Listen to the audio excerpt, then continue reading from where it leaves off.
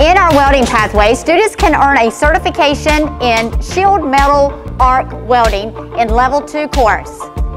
Last, but surely not least, we are here at Mr. Patterson's welding room. This course is unique because we are the only school in Gaston County that offers welding. We have guys and girls that sign up for this class and it is very competitive. There are lots of companies and businesses looking for good welders. So if uh, you are interested in a job opportunity after high school, this is the course you need.